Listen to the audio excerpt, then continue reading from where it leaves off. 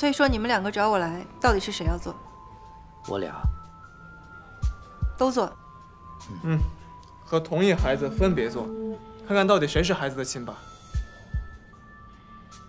听起来是有点狗血，但其实也没那么夸张。那时候我俩都还年轻，正在创。明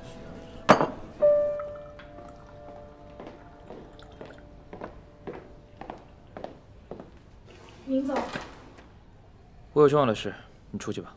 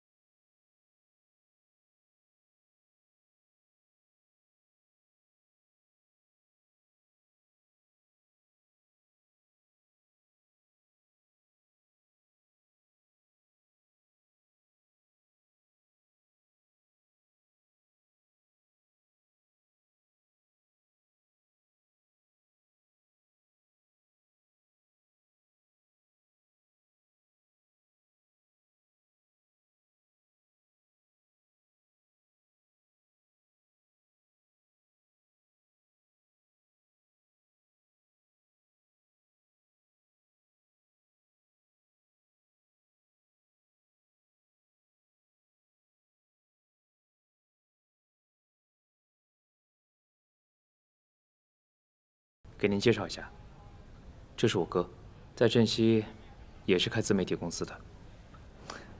我弟看不惯我，但我喜欢他，我就喜欢他这种看不惯我又弄不死我的样子。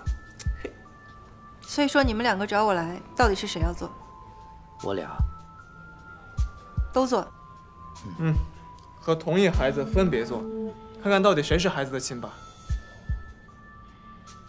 听起来是有点狗血。但其实也没那么夸张。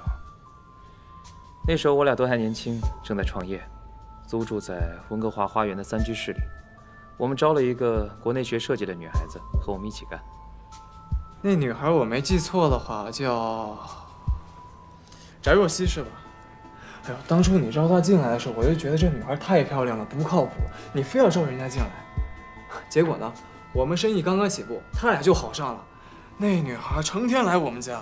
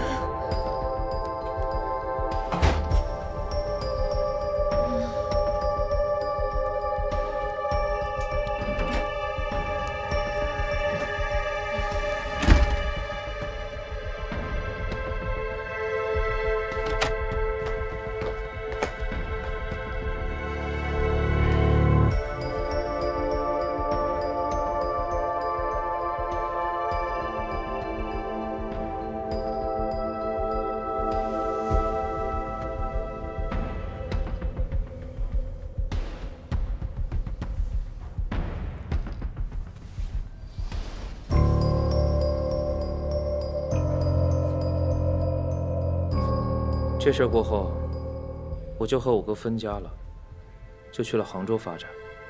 我刚走不久，翟若曦就打电话想找我复合，说她怀孕了，孩子是我的。但我不信，我一想到这件事，就觉得恶心。后来从别的朋友那儿听说，她自己把孩子生了下来。现在想起来，还真有点滑稽，以为把孩子生下来就能吃定我了吗？你怎么不想着他把孩子生下来是因为对你还有感情呢？还不晓得孩子是谁的，就说对我的感情。要真的他对我有感情，他会跟你上床吗？那天我喝断片了，没准就像他自个儿说的那样认错人了呢。我俩哪一样？他能认错？你要是同情心泛滥，怎么不早把他收了？她是你女朋友，没准你俩早在一起了。林豪俊，你说这话真的是太可笑了。人和人之间的基本信任你没有了。还有这个，我进来的时候就看见了，董主任，他跟你签的吧？哎呦，豪俊啊，你自个儿千挑万选出来的亲子鉴定师，你自己都不相信，还跟人家签这个？信任？你跟我谈信任？你晓得我当年经历了什么吗？我一天之内，我两个最信任的人辜负了我，你要我怎么信任？你告诉我怎么信任？我还能信任谁？别吵了。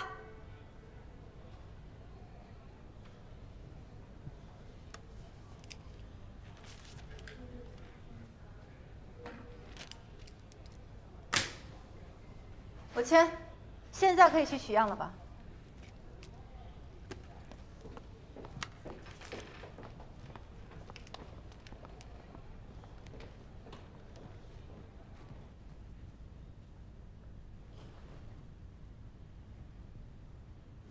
这都还不回来吗？都这么晚了，下班时间了都，这么重要文件他还不拿，该不会不回来了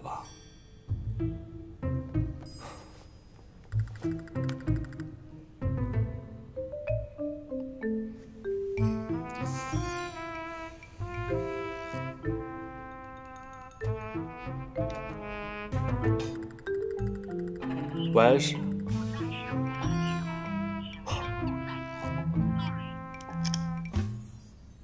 爱回不回？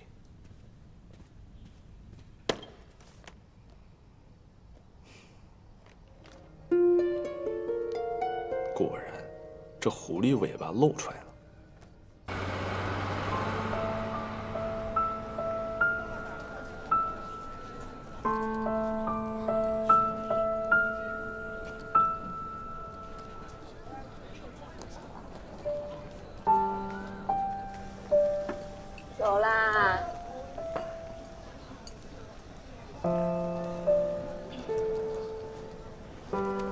么那么咸？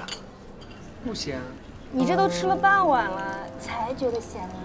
哎哎，心情不一样，味道能一样吗？是吧？嗯。